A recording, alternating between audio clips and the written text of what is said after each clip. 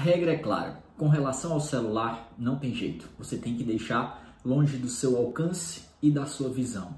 Por que, é que eu estou falando isso? Isso foi experiência própria, tá? É, o celular, ele estava destruindo a minha produtividade.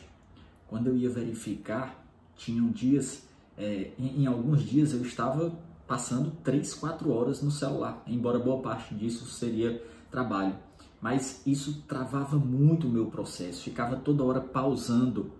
E eu tentei várias coisas. Eu tentei desabilitar as notificações, eu tentei colocar no modo avião, deixar o celular emborcado. Mas o hábito de pegar no celular para verificar notificações de redes sociais, de Instagram, de WhatsApp, ver se tinha alguma mensagem que eu precisava ver, era muito mais forte do que eu, muito mais forte do que a minha consciência do, de que eu sabia que não podia pegar no celular. Mesmo estando emborcado, modo avião, sem notificação, eu ia lá, pegava o aparelho e começava a verificar. Então, não teve jeito, tive que tomar uma medida mais radical. Ou eu deixava em outro ambiente, onde não estivesse ao alcance da minha visão, nem da minha mão, porque eu podia até pensar, mas não conseguia pegar, e aí voltava para a minha concentração, para a minha atividade.